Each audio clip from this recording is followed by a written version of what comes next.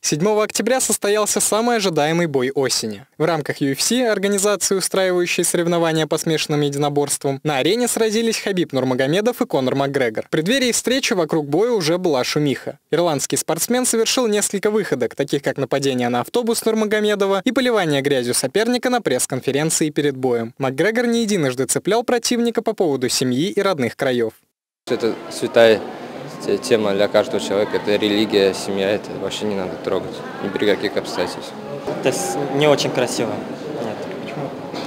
Ну как, не только вот в спорте, а даже в таких отношениях нельзя трогать семью, потому что ты общаешься с человеком, а не с его семьей.